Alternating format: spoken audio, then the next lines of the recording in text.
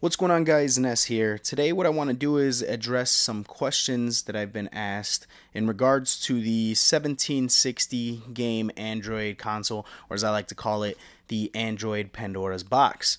So what I'm going to go over today is basically how to install apps externally from the SD card via APK file, and then I'm going to do a couple more game tests just to see how this thing runs because I understand there was quite a few questions as to well, how does it run this game, that game, etc. So I'm just going to try a couple other games and we're going to see how well it performs.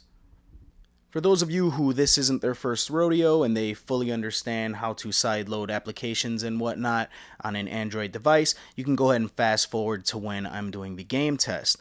But for those who are unsure, I'm going to go ahead and show you guys right now. So let's head over to our computer and put our SD card into our PC. If you don't have access to a PC, that's fine. You can actually use the web browser on this device in order to download the APK files.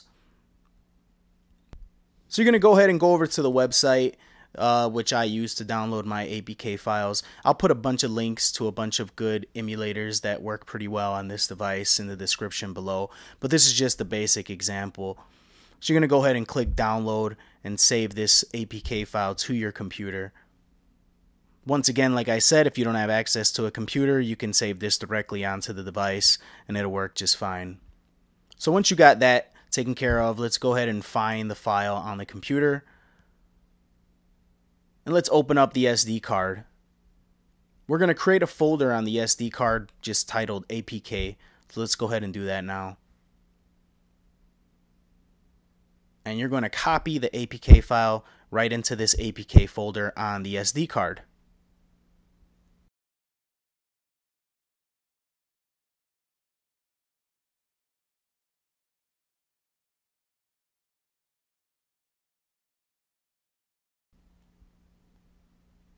Let's go ahead and take out our SD card and head over to the Android Pandora. So once the console is all booted up and you have your micro SD card already inserted into it, go ahead and head over to the Apps tab. Scroll down to where you see ES File Explorer. The console should come with it by default. Go ahead and click that. Once in the File Explorer, find where your external SD card is located and go ahead and click that. Click on the folder that we named APK and go ahead and proceed to click on and install every single file that we have in there.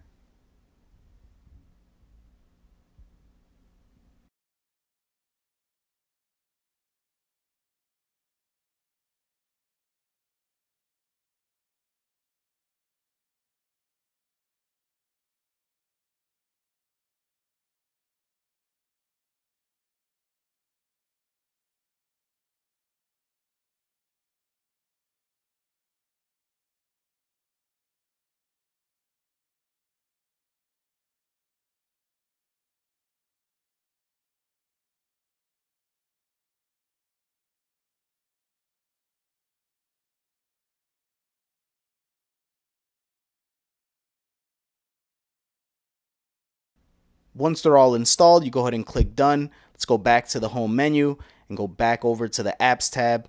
And as you can see, every single APK that we installed should be present on the apps tab now. And it's that simple. It's that simple to go ahead and install the uh, applications externally. So now let's head back over to the computer and I'm to show you guys how to put some ROMs, put some games on this SD card. So now we're back over at the computer. We're going to go ahead and open up that SD card. Then we're just going to make another folder and we're just going to call it ROMs.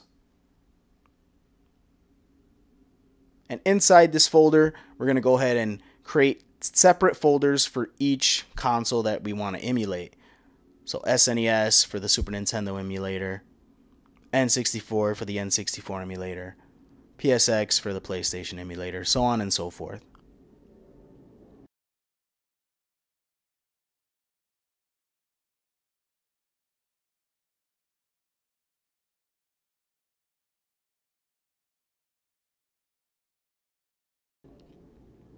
And then you're going to go ahead and drop all of your game files into said folders.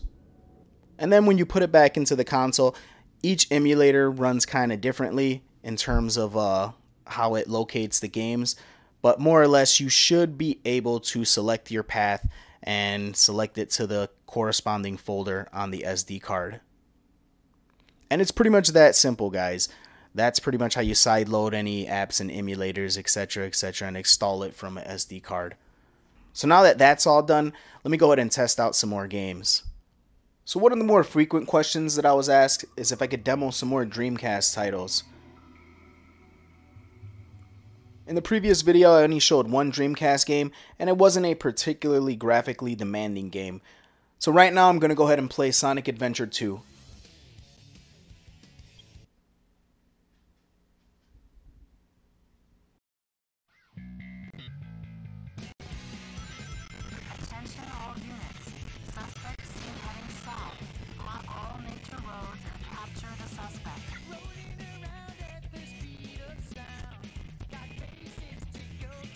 As you can see, there's a few little tiny slowdowns, a couple of hiccups in the audio, but other than that, it seems to run pretty good.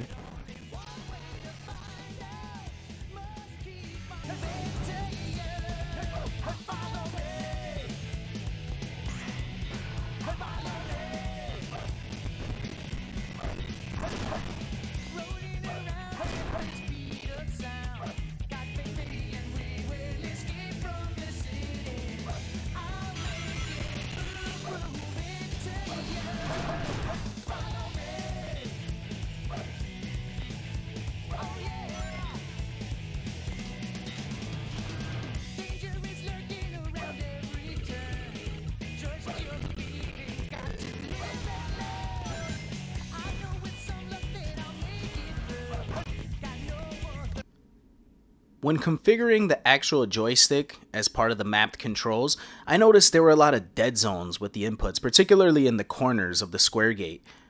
So what I opted to do every time I play an external emulator, I like to play with a gamepad. The gamepad I'm using here is the SF30 Pro, but you can use any wired or Bluetooth controller for this device. I haven't tried a PlayStation 3 or PlayStation 4 controller, but I know the Xbox 360 and the Xbox One controllers do work on this console. Another Dreamcast title I decided to run was Capcom vs. SNK.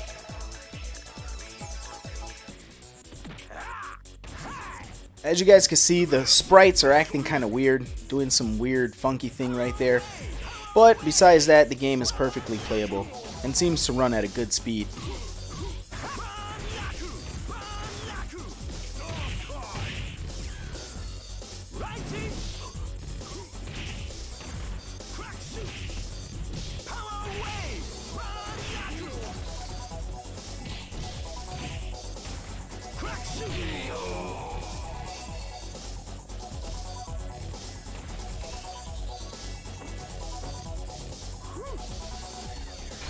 Shifting gears over to Nintendo 64, Mario 64 seems to run perfectly fine.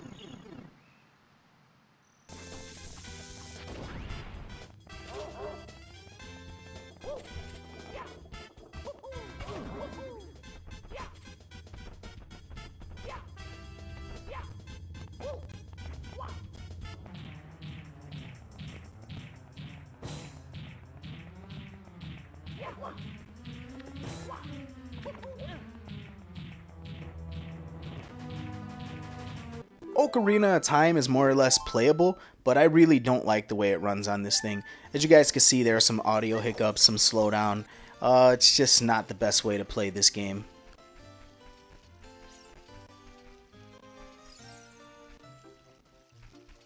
So yeah, I definitely would not recommend playing Ocarina of Time on this device.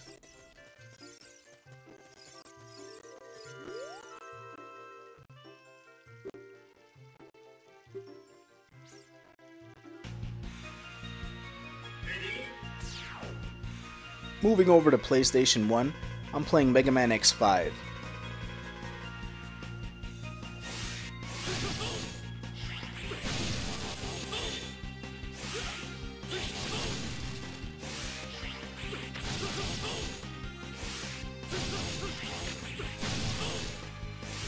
As you can see, it runs beautifully on this device.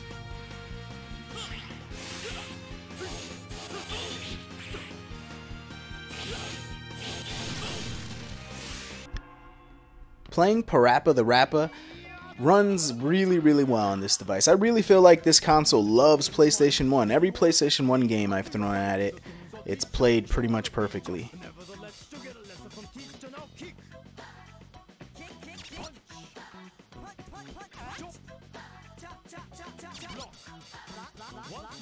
It's